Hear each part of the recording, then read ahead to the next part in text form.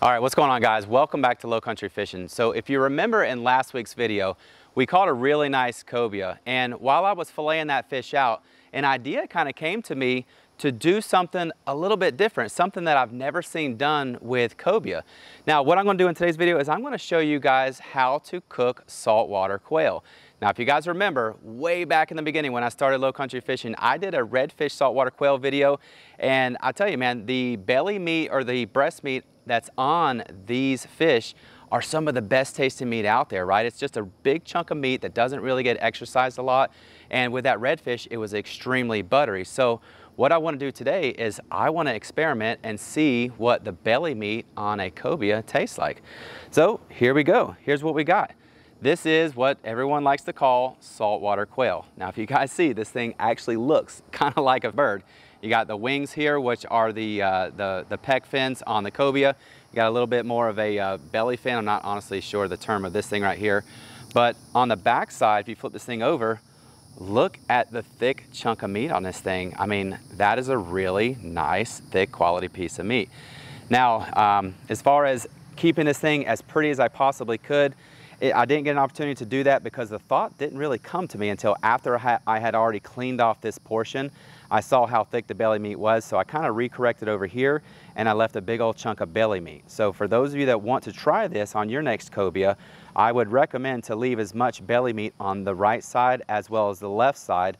That way you can get some really nice chunks and some thick fillets. But either way, we have a really nice piece of meat here and we still have some good quality meat right here. So what I'm gonna do is I'm gonna really just kind of clean this thing up. I don't have a deep fryer big enough to, to batter and throw this whole thing in because I am gonna be battering this fish. I can tell you with the meat that we pulled off of that, I broiled it, I blackened some of it, and uh, I've been just kind of eating on that for the past two days. So now that I know what cobia tastes like again, because it's been about a year or so since I ate it, I'm ready to fry this thing up and taste it with a really nice tasty sauce. So Let's go ahead and pull out the old seven inch medium flex Sord fillet knife. Now, if you guys are in the market for a fillet knife, guys, this thing right here is amazing. It's got a really nice anti-corrosive coating on it. It's got a full carbon steel blade, which is extremely sharp. And again, that handle is extremely comfortable. I have the five inch utility knife as well. And one of my buddies grabbed a hold of it the other day and was just blown away at how comfortable this knife feels in their hand. So here we go. Let's set this thing down and let's just kind of work through it together. Now, what I obviously want to do, get the flies out of here for one, is try to figure out where the best pieces of meat are going to be, right? So I kind of just want to feel my way through it at first. And what I'm noticing right off the bat is the fins here are extremely bony up around the collar here because this is where the gills is and this is where the head would be right here. This is a plate. You hear that right there? That is a really super hard plate. So I'm gonna take the seven inch knife along with some uh, just normal kitchen shears and I do wanna work through this and see if I can just get some nice fillets out of here. So we'll just cut through just like that. That was actually pretty easy. I'll come through right here on this bottom side, cut through like that, flip her over, this is where I notice I have these little fins right here. So I need to cut around the meat kind of like that. And there you go. How about that? Got the bones out and now we can focus on the big chunk of meat right down here. All right, so now that I have the big old slabberoonie of meat, look at this guys. This is a gigantic piece of meat.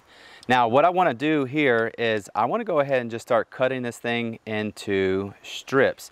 Now with this, you could probably just cook this thing whole. You could put it on a smoker, smoke it. Uh, you could probably fry it whole. You can bake it, broil it just like that. But me, again, like I mentioned earlier, I kind of just want to do some fried fish fingers. So what I'll do here is take my knife and I'll just start cutting this into strips. Now, one of the things you have to remember with cobia, their skin is like leather. So make sure you have a sharp knife and when you're done using your knife, go ahead and put another uh, edge back on it because it will dull that knife really, really quick. But like I mentioned in the previous video, these Sord knives are, uh, they come incredibly sharp right out of the box. You don't really have to do anything to them. So there's that. Keep going just like that. And like that. Now look, look how pretty that meat is. And one of the things you guys might notice is right on the bottom, it, it doesn't look like there's much of a bloodline. There's a lot of bloodline on like the sides of the fish that you do have to kind of cut around. But here on this belly meat, I'm not really seeing too much of the bloodline. It's kind of looking all consistent. Starting to get into a little bit of it right here. So let's just keep working through and let's see how this turns out. So with any fish that I fillet, to get the skin off, you just kind of take it over to the side of your cutting board just like this and just kind of start working through it here.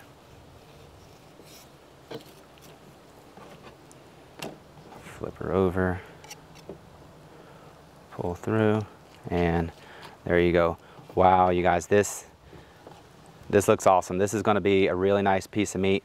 One of the things I do wanna do is go ahead and remove this little bit of a membrane right here. And I do want to check it because I'm starting, I am noticing that there are some, uh, some belly bones or just some bones in general right there. So let's go ahead, get out of here. These, these flies in Georgia are insane right now. So I'll just cut that skin off just like that. Come back through the backside like that. Got the membrane off and that looks really, really good. Got a couple bones right here. Take just a second, cut those out. And this is honestly where I, I just take my time. I enjoy the process. I enjoy the catch. I like to clean and I enjoy the cook too. So just slow it down and enjoy the whole process. Don't feel like you have to be in a giant rush. And that's it. Go ahead and chop that baby in half just like that. And I tell you, that's, that's looking really, really good already. So let's go ahead and let's cut into one more piece here and see how this looks. I'm digging it though. I think this is gonna be delicious. All right, so I got the fish all filleted out and put in or cut into small little bite-sized pieces just like this. Now guys, I'm a big fan of serving little fish nuggets or little fish fingers like this because one, it's easy for me to eat, but it's also easy for my kids. So let's get these things seasoned up. Now, I don't like to use really bold flavors when I'm trying something for the first time. I like to use flavors that I am familiar with. And as far as the season on the fish, it's gonna be this one here. It's gonna be Everglades Fish and Chicken. This is my absolute go-to. I'm a Florida native. This stuff comes from Florida. I've been eating it for years, even before I found it on the shelves here in uh, the low country as well as Georgia. But if you guys get an opportunity, make sure you do pick up this seasoning because it's good. It's not really heavy on salt, it's kind of heavy on flavor. So what we'll do is we'll just lightly season the fish just like this. Just go ahead and give it a nice little coating. I don't want to overdo it and overpower the original, the, uh, the base seasoning because this Louisiana breader here does have a little bit of uh, seasoning mixed into it and some salt. So once I got it like that, so I'll pull out the old gallon Ziploc bag in my pocket and we're just gonna dump a little bit of this seasoning in here just like that. I'm a big fan of adding fish to the seasoning instead of putting the seasoned fish in the bag first and then throwing stuff on top. It just kind of pulls a little bit of that salt that's in the fish off of it. So I'll dump it in the bag and let's just go ahead and give this a nice, a nice little shake. Now with any of my fish like I do and like I talk about in these videos, I do like to uh, let the, the coating or the seasoning sit on the fish for about a minute or so. It gives it a really good chance for everything to kind of coat and adhere and allow any moisture that's on that fish to absorb the seasoning. And uh, it, it helps, it really does help because in the process of frying fish, if you go a little bit too quick, all that batter will, will come back off. So I'll let this sit in the batter here for just about another minute or so and then we're gonna drop this thing in to the grease. And it's not gonna take but just a couple minutes. All right, so let's drop this fish in. Now my oil, I just temped it, is hovering right around 375. You don't wanna really have your oil too much hotter than that because the batter will burn a lot quicker than the fish will cook. And I'm gonna go ahead and just put all of it in here at once. It didn't make a lot of, a lot of meat because again, like I said, when I was originally filleting the fish out, I didn't pay attention or the idea didn't come to me at that point to save the other little portion of that belly meat. Now I did wind up eating it inadvertently with the rest of the meat. But I didn't get a chance to fry it. I'm excited to fry. All right, so let's make a fancy sauce. Now guys, this is a sauce that I've been uh, hooked on for quite some time now, and it's the Buffalo Wild Wings Asian Zing. It's got a little bit of a kind of a soy base to it, a little bit of heat and some really good sweetness, as well as some good salt to it as well. And you know, you could, you could take this and add it to a little mayonnaise and have a really nice dipping sauce, but uh, I just kind of want to go with this and not do too much, uh, too much fat with it. So we'll just squeeze this in a little bowl, just like that. And that is it for the dipping sauce. So now we'll just give our fish a little bit of a stir, just another minute or two on it, and we're gonna be ready to eat some fish because I'm hungry. All right, so it's been about four minutes. Let's go ahead and pull the fish. And boy, that looks good. That's, that is the color we want. I love uh, a nice little, kind of a golden brown crispiness to it.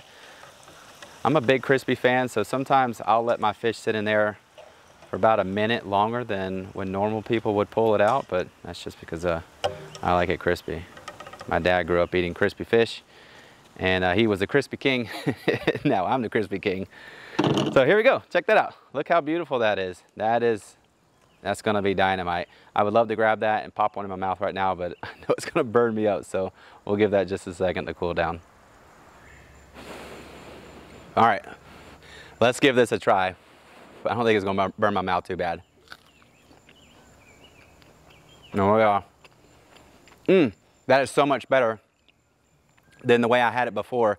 Uh, the, the cobia that I've been eating before has been kind of broiled and blackened and the meat is kind of real steaky, but this is a lot more buttery. It's real tender, kind of like if you compare tenderloin to say sirloin steak. This is real, real tender, kind of like a tenderloin would be. And of course, let's go ahead and hit it with a little bit of heat. I'll tell you, man, that's good. This, this Asian thing right here is where it's at. You could put this on a piece of shoe leather and it would probably taste really good.